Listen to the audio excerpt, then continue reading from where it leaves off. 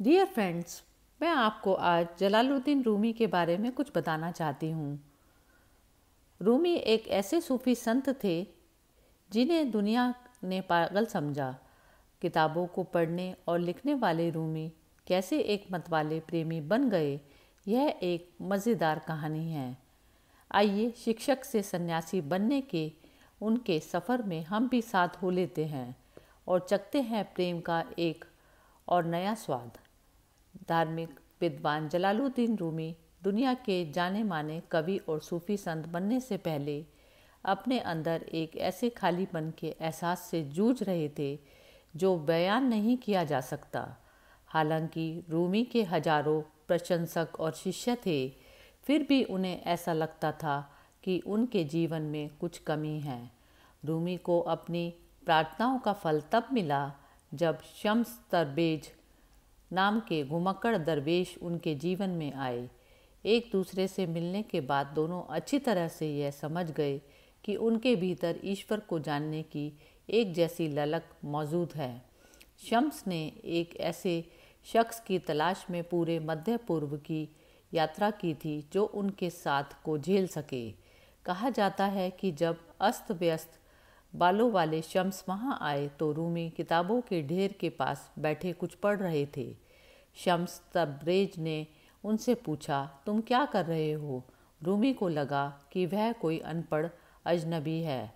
इसलिए उन्होंने व्यंगपूर्वक जवाब दिया, मैं जो कर रहा हूँ, उसे तुम नहीं समझ पाओगे। यह सुनकर शम्स ने किताबों के ढेर को, जो रूमी की खुद की लिखी हुई थी, उठाकर पास के एक तालाब में फेंक दिया। रूमी जल्दी से भागकर उन किताबों को तालाब से निकाल लाए और यह देखकर हैरान रह गए कि वे सभी किताबें सूखी थी। रूमी ने शम्स से पूछा, यह सब क्या है?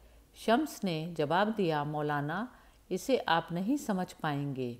फिर क्या था, इस घटना के बाद से रूमी इस असभ्य से दिखने वाले घुमकड़ के गुलाम हो गए। उन्होंने बड़ी उत्सुकता के साथ शम्स का अपने जीवन में स्वागत किया।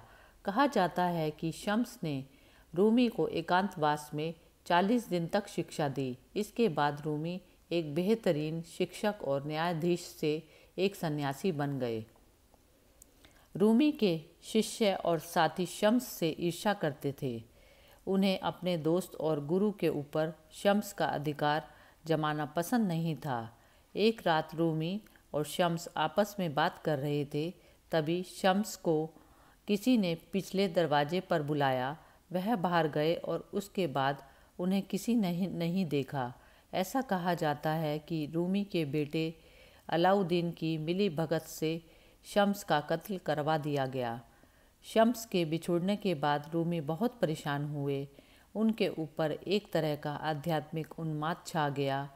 वह गलियों में नाचते हुए घूमते और सहज स्वाभाविक गाने गाते। धीरे धीरे उनके इस नाच गाने ने समा प्रार्थना सभा का रूप ले लिया, जिसमें उनके सारे शिष्य शरीक होने लगे। समा एक तरह की प्रार्थना है जो नाचते गाते हुए की जाती है।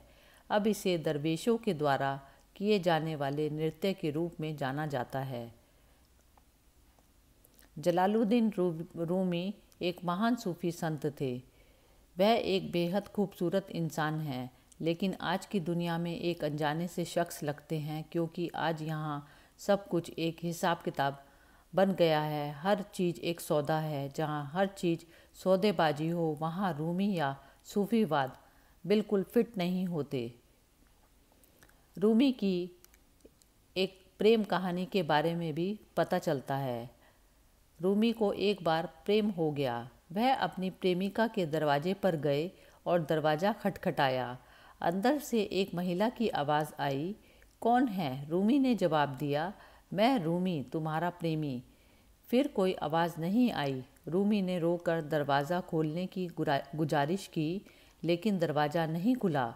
इसी तरह वह कई दिनों तक दरवाज़ा खुलवाने की कोशिश करते रहे, लेकिन दरवाज़ा नहीं खुला। कभी नहीं खुला। रूमी गहरी निराशा में डूब गए। उन्होंने अपना जीवन खत्म करने का फैसला कर लिया और पहाड़ों पर चले गए। वहाँ उन्होंने एक दो महीने गुजारे, फिर वे वहाँ वापस लौट आए। लेकिन अब वे बिल्कुल अलग तरह की अवस्था में थे। एक बार फिर वह अपनी प्रेमिका के दरवाजे पर गए और दरवाज़ा खटखटाया। अंदर से आवाज़ आई, कौन है? इस बार रूमी ने कहा, तुम, सिर्फ़ तुम। रूमी अब कहीं नहीं है। दरवाज़ा खुल गया और रूमी को अंदर बुला लिया गया। सूफी परंपरा में ईश्वर को हमेशा प्रेमी के रूप में देखा गया है। दरवाज़ा केवल उन लोगों के लिए ही खुलता है जो अपने आप को खो चुके होते हैं। रूमी ने भारत में काफ़ी समय बिताया। उन्होंने योग के उन सभी तरीकों को आजमाया जो उस वक्त भारत में मौजूद थे। उनकी क्षमता कुछ ऐसी थी कि वे जहाँ भी कहीं गए, सिर्फ़ योगियों से मिले। कुछ ही हफ्तों में वे उनकी पूरी साधना का अनुभव प्राप्त कर लेते थे और फिर वे अगले योगी के पास चले जाते थे। उनका यह सिलसिला चलता ही रहा। एक बार रूमी मक्का जा रहे थे। उनके साथ एक और दरवेश यानी सूफी संत यात्रा कर रहे थे। रोज़ाना रात में वे जब दोनों आराम करने और सोने के लिए ज़मीन पर लेटते तो दूसरा संत उठकर बैठ जाता और प्रार्थना करने लगता एक दिन रूमी ने यह बात पता लगाने की कोशिश की कि वह दरवेश किस चीज़ के लिए प्रार्थना कर रहा है, क्योंकि प्रार्थना के दौरान उसके चेहरे पर एक तरह की बेचैनी दिखाई देती थी उन्होंने सुना था कि वह शख्स अल्लाह से यह प्रार्थना कर रहा था कि एक दिन मैं इस देश का राजा बन जाऊँ।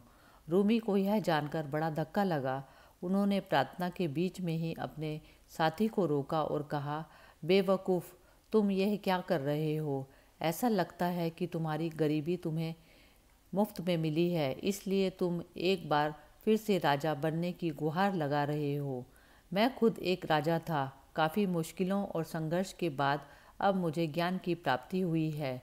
इसलिए मैंने एक फ़कीर बनना तय किया।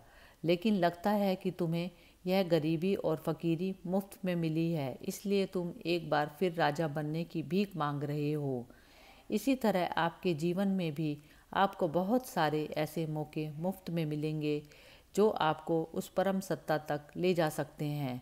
वे आपको उस परम सत्ता तक ले जाते, लेकिन आप उनसे परेशान हो गए। जो कुछ भी आपको दिया जाता है, उसका सही इस्तेमाल करने की बजाय लोग बस हालातों को भोगते रहते हैं।